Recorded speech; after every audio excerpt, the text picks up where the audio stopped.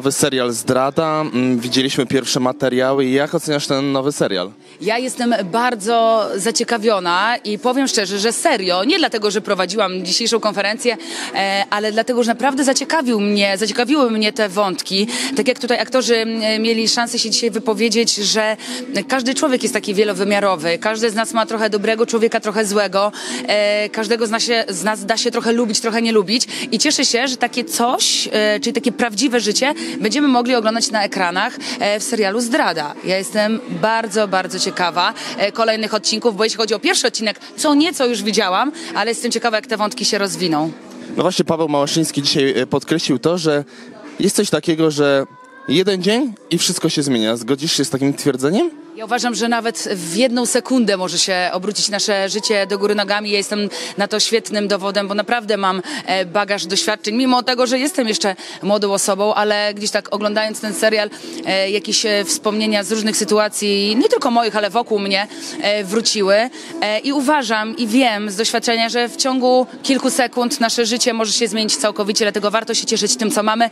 Warto czerpać życie garściami, bo nigdy nie wiadomo, co się wydarzy za minutę, jak tylko na przykład stąd wyjdziemy. Tak naprawdę możemy to trochę porównać do kręgu ognia z Love Island, że nagle ktoś wchodzi, się pojawia nowe i tu w głowie coś nowego się też no, pojawia u każdego z uczestników. Dokładnie, to jest jak na Love Island. Życie to Love Island, e, w którym nigdy nie wiadomo, co się wydarzy, nigdy nie wiadomo, kiedy ten ogień zapłonie, nigdy nie wiadomo, kiedy w naszym życiu pojawi się ktoś nowy, ktoś, kto nas zainteresuje, zaintryguje.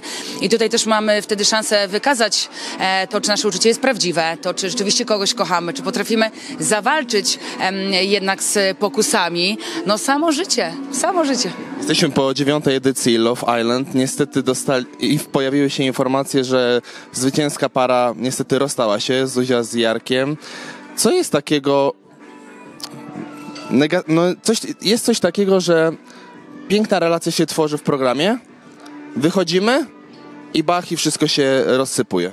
Ja mam na to takiego pewnego rodzaju wytłumaczenie, bo obserwuję już to od dziewięciu sezonów, e, jak to wygląda. Chciałabym się też skupić na parach, które rzeczywiście do dziś trwają, bo podejrzewam, że tak ostatnio liczyłam, to mamy już osiem par e, z różnych sezonów, które są ze sobą do dziś i to są nawet związki trzyletnie, więc cieszę się, że ten program łączy ludzi, ale niestety też, e, tak jak mówisz, czasami jest tak, że ludzie wychodzą z programu i te związki się rozpadają, czasami nawet bardzo szybko. Tak jak wiemy teraz para, która zwyciężyła, ogłosiła rozstanie. Wiesz, dlaczego tak jest? My tworzymy e, naszym wyspiątkom, jak ja to mówię, takie idealne warunki do tego, żeby się mogli poznawać. Żyją bez telefonu, e, żyją bez swoich przyjaciół, bez swoich rodzin. Są skupieni w 100% tylko na sobie, ale jak wychodzą z Wyspy Miłości, to dochodzą te wszystkie bodźce takie prawdziwe, które my mamy na co dzień. Czyli właśnie ci znajomi, ro, e, znajomi rodzina, e, praca i różne codzienne problemy.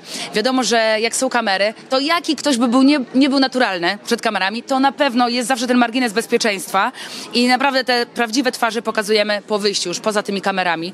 Więc podejrzewam, że tak mogło być w tym przypadku, że jednak zobaczyli, że na płaszczyznach takiego prawdziwego życia e, się różnią. E, oglądam relacje i Zuzi, i Jarka i słucham tych ich tłumaczeń, dlaczego ten związek się rozpadł. To jest ich osobista sprawa oczywiście, mm, ale ja mogę się domyślać, o co tam e, mogło pójść, ale to już pozostawię dla nich. Jest mi bardzo przykro dla jako prowadzącej, bo ja naprawdę chcę tam łączyć ludzi w pary i żeby byli ze sobą szczęśliwi, ale zawsze wychodzę z założenia, że ludzie mają być ze sobą do momentu, kiedy są szczęśliwi. I w momencie, kiedy poczuli, że już nie są, to lepiej się rozstać, nie krzywdząc drugiej osoby i niech każdy układa sobie życie na nowo. Uważasz, że może powinno się w coś po programie pojawić nowego takiego, żeby oni dowiedzieli się coś, czegoś więcej o sobie? Bo tak jak wspominasz, że oni nie wiedzą za dużo o sobie, o swoich przyjaciołach i o tym, jak spędzają czas wolny, no poza kamerami. Nie, nie, to jest tak, że oni właśnie bardzo, bardzo się poznają. Oni sobie opowiadają o znajomych, o rodzinach i tak dalej, ale to jest, wiesz, to jest tak jak, nie wiem, ze skokiem, skok ze spadochronem. Ja ci mogę opowiedzieć, jak mi się skakało ze spadochronem, ale ty to zupełnie inaczej odczujesz, jak e, staniesz w samolocie e, przypięty, e, będziesz miał przypięty spadochron do pleców i będziesz musiał zrobić ten krok i skoczyć. To jest zupełnie inne odczucie i tak samo jest u nich, nie? Że oni dopiero się zderzają z tą rzeczywistością i dopiero widzą siebie w tych takich już normalnych, życiowych warunkach. Miałaś swoją e, tą faworytów tej edycji?